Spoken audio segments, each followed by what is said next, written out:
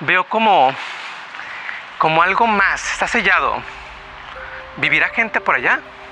A lo mejor allá cuidan, ¿eh? Y nos pueden estar viendo. Ojalá no se molesten, digo, no estamos haciendo, haciendo nada malo, pero bueno, aquí un cuartito. A ver, a ver, esperen. Un machete. Un machete. Hay que andar con mucho cuidado.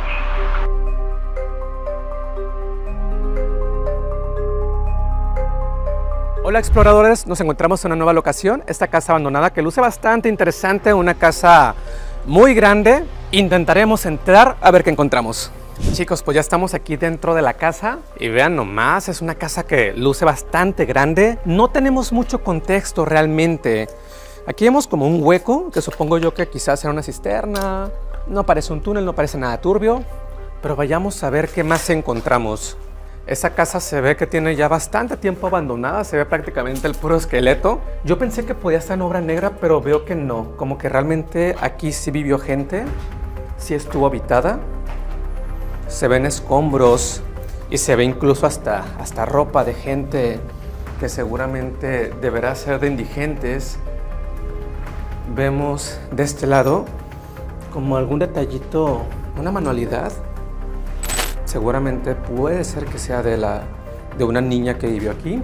Vean este lado, se ve una asombrosa alberca, pero antes quiero que vean que aquí queda parte de, de este vitropiso, de este azulejo. Asumo que aquí perfectamente pudo haber sido la cocina.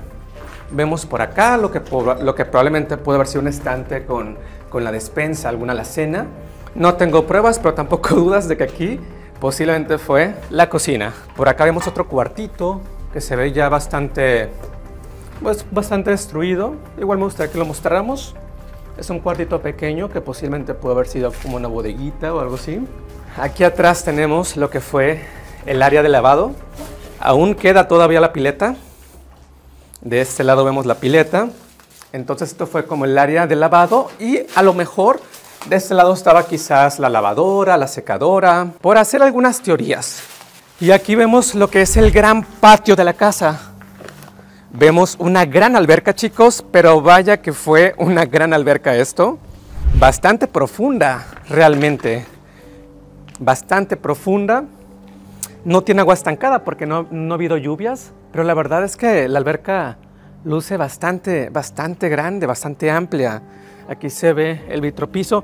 No sé si bajar más porque soy medio menso y a lo mejor me resbalo. Pues sí es muy profundo, o sea, vean esto. O sea, aquí prácticamente está prohibido para los niños porque sí requiere saber nadar muy bien.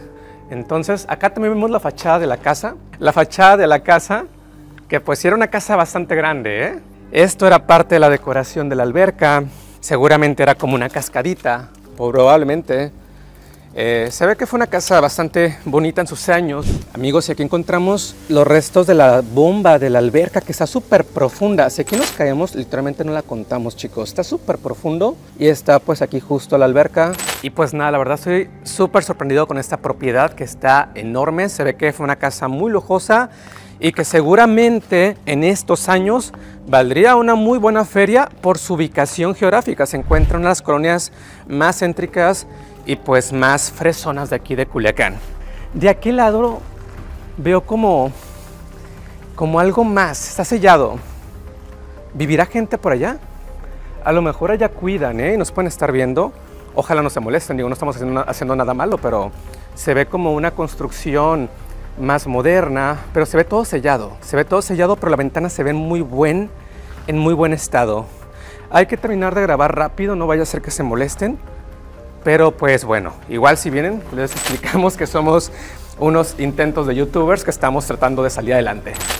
La casa era como de, bueno, el suelo más bien era como de, de mármol, un material muy usado para las casas ostentosas de los 80s y 90s. El techo ya se está cayendo. Estamos chicos buscando aquí en el cuartito debajo de la escalera y me llama la atención todas estas pastillas. Son muchísimos medicamentos, unos muy famosos como el ibuprofeno, antiflu, pero son demasiados, me hace bastante turbio.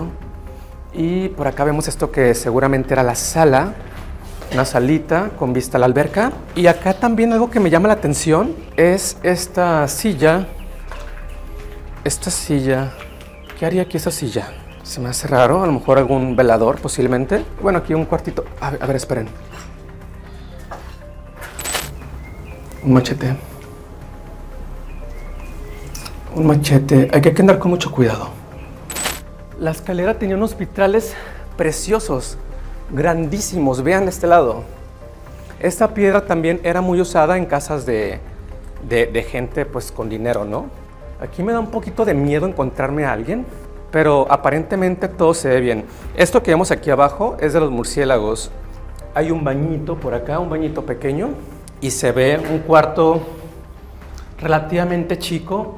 No queda nada, tiene una vista muy bonita la alberca. No queda nada de pertenencias, no queda ni siquiera parte del closet. Hay papel higiénico manchado. Aquí ya viene, aquí viene gente a hacer, aquí viven vive, indigentes. Por acá vemos otro, otro cuarto. Siento mucha adrenalina, amigos. Este cuarto tiene un baño que, que tiene un mármol rosa muy bonito. El cuarto es muy pequeño realmente. Todos tienen vista a la alberca, pero son cuartos muy pequeños, con instalación para aire acondicionado, pero son cuartos chicos para, para esta casa realmente. Aquí hay una vista muy bonita a la colonia, bueno, a la, a la cuadra de la casa. Esta colonia es una colonia muy bonita, se llama Las Quintas. Y pues aquí se ven las casas, que son casas, pues la mayoría de ellas, casas muy lujosas, ¿no? Casas de gente que tiene una vida económica bastante resuelta. Por acá vemos el cuarto principal. Este cuarto sí es más grande, eh, no queda tampoco parte del, del closet. Este baño sí se ve un baño más grande, un baño con vestidor, que ya pues prácticamente está bastante derrumbado. O sea, vemos que esta casa ya está para que la tumben y la vuelvan a construir. Hay papel higiénico nuevo. Hay papel higiénico. Aquí, aquí viene gente a dormir. Aquí vemos pues que ya está destruyendo. Entonces amigos pues sí se ve como que la casa no está completamente abandonada. No se ve tan, este, tan grafiteada, no se ve tan vandalizada.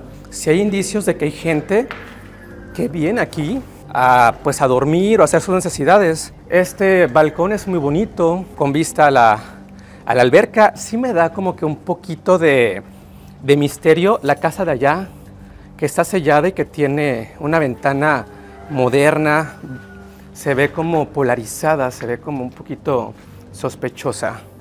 Entonces chicos, la expedición la dejamos hasta acá porque tenemos que salir de aquí con mucho cuidado. Muchas gracias por llegar al final. Soy Héctor Frank. No olviden seguirme en mis, demás redes sociales, Instagram, Facebook, YouTube, TikTok, como Héctor Frank.